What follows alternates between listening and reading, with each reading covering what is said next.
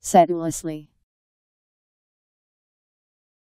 Applying constant and enduring effort to a task or course of action in a sedulous manner. S E D U L O U S L Y. Sedulously.